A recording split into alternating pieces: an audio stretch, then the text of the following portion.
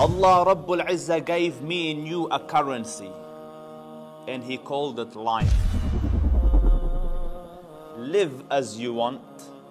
When it finishes, come back and tell me how you spent it. Did you buy Jannah or did you buy Jahannam? And life starts after 120 days after inception. Ruh comes into the fetus. You become alive. From that time on, you're born into the world. You live, you strive, you struggle, you work. All of those is a test.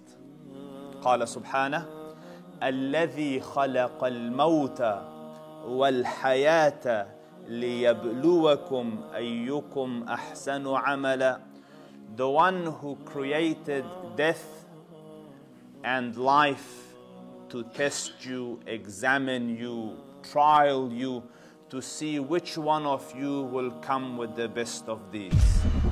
قال تعالى ولنبلونكم بشيء من الخوف والجوع ونقص من الأموال والأنفس والثمرات and I will test you with different aspects بشيء من الخوف with a bit of fear والجوع and hunger ونقص من الأموال and loss of materials and property and, and personnel and people and at the end وبشر الصابرين give glad tidings to those that bore the tests patiently do you see that life in its entirety is a test